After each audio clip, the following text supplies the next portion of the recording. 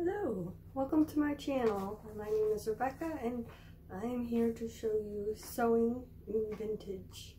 I love vintage style. Everything about vintage style is just very appealing to me. Today in this episode, I will be showing you how I made my uh, 1950s inspired Hogwarts House Hufflepuff, of course, uh, vintage look for Halloween. So come and sew with me. So today I'm going to make this pattern for my Hufflepuff shirt version B here.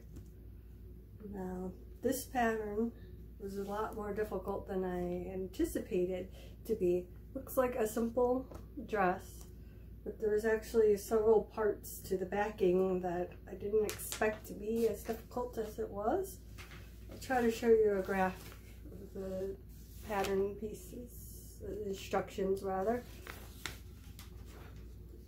it reminded me of something from the 18th century with all the parts in the back and it, it uh, tested my knowledge that's for sure. So I will show you in the video different things that happen and I don't recommend this pattern for beginning beginner sewers at all. It was a lot more difficult and challenging than I thought uh, step eight in the pattern. Really, I never did anything like this before. I've been sewing for eight years now, regularly, and this part on step eight, a little plaque in the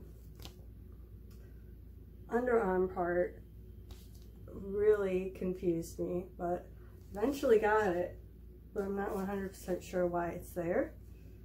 Uh, I follow all instructions though, because there's a reason why it's there. You can leave it in the comments below if you know, because I'm not as skilled as I would like to think.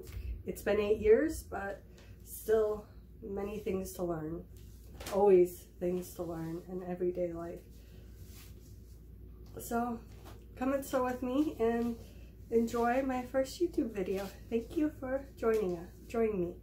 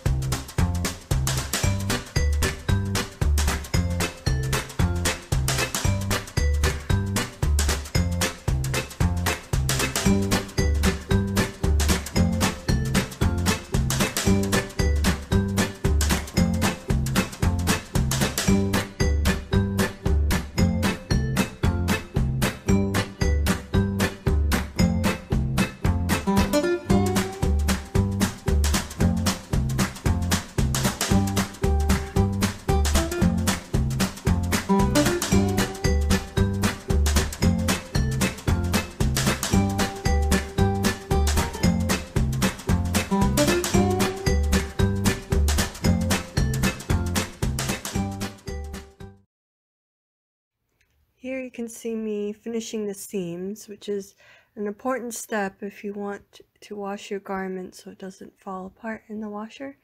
And let's take a moment to listen to my nice vintage 401A Singer machine. I just love the sound that this machine makes. It's so relaxing.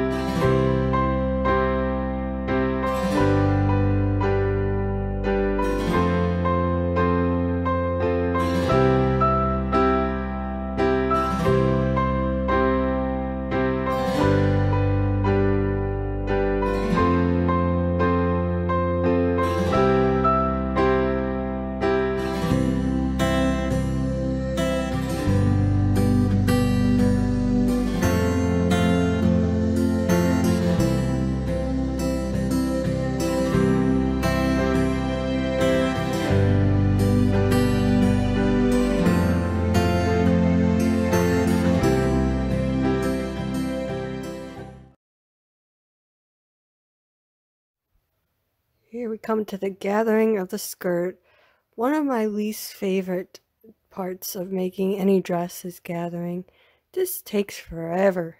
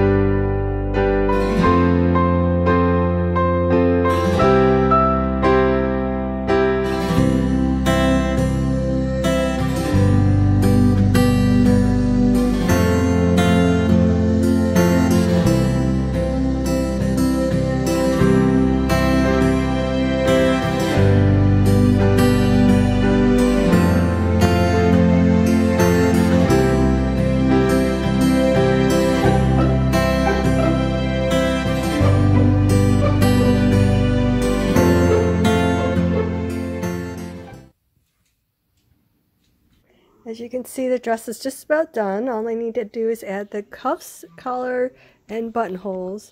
As you can see in the back area, those are the panels I was talking about that I've never seen before in any patterns that I've done. And it was an interesting experience to do something completely new. But I don't know if I'd ever do this pattern again, to be honest with you. A little more difficult and difficult to maneuver all those pieces, and they were very unique and different pieces. So we'll see. Maybe I'll try again now that I know exactly what I have to do. But enjoy!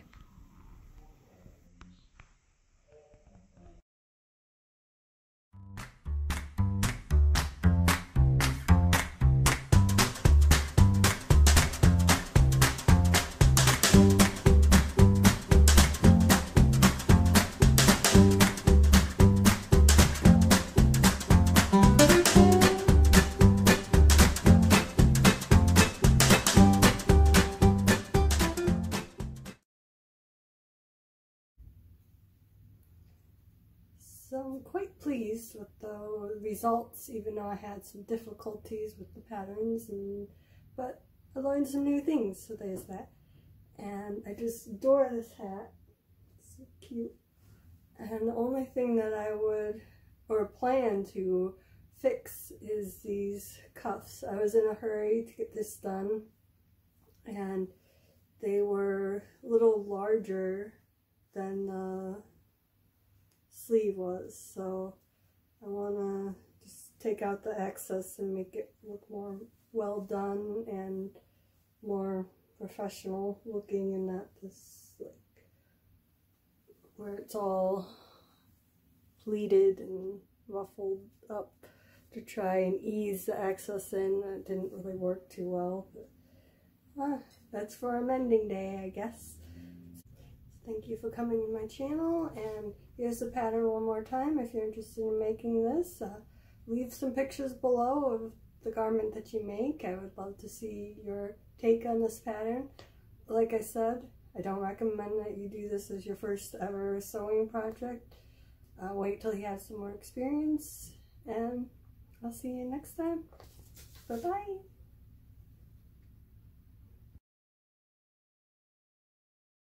Mm-hmm. Shall see if this goes well or if I feel like I uh, And there's the sirens.